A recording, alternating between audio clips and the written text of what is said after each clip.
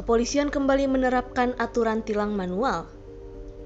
Hal ini terpaksa dilakukan karena banyak kendaraan nakal mengakali tilang elektronik dengan berbagai cara. Bahkan tidak sedikit masyarakat yang mengganti nomor plat kendaraannya. Dirlantas Polda Metro Jaya, Kombes Latif memastikan bakal menilang kendaraan secara manual yang mencopot atau melepas hingga memalsukan plat nomor kendaraan. Menurutnya, kendaraan yang melepas plat nomornya bisa digunakan untuk melakukan kejahatan di jalan. Oleh karena itu, Pelanggaran ini disebut sebagai pelanggaran berat, sehingga akan dilakukan penyitaan kendaraan.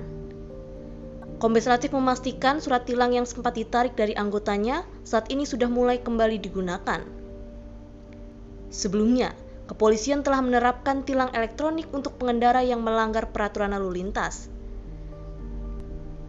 Hal itu dilakukan usai Kapolri Listio Sigit menginstruksikan terkait peniadaan tilang manual terhadap pelanggar lalu lintas.